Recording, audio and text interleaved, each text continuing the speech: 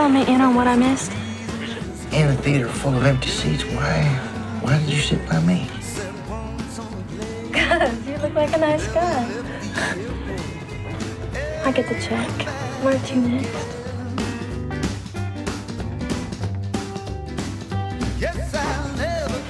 And I feel really goofy saying this after only knowing you one night.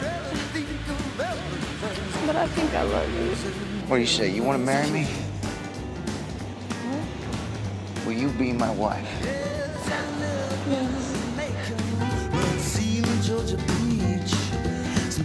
Write down your former address. I so I can go over there and pick up your stuff. These aren't my clothes.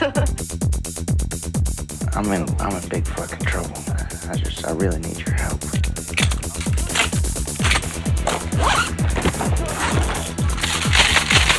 Clarence and a bitch girlfriend of his snatched my narcotics. Well, maybe you can help me. I'm looking for a friend of mine. Clarence Worley from Detroit. Traveling with a real pretty girl. Alabama, where's our coke? we don't have any Coke, but there's a Pepsi machine down the hall.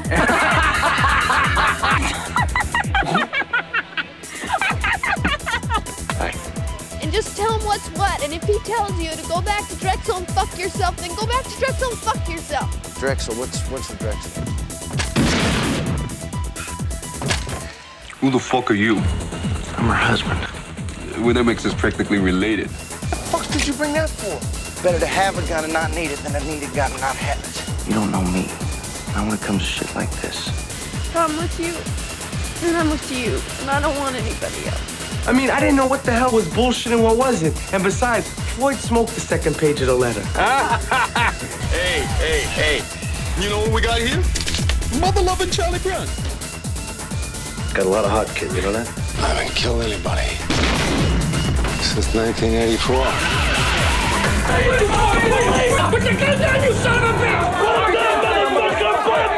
You guys want to smoke a bowl or? Oh.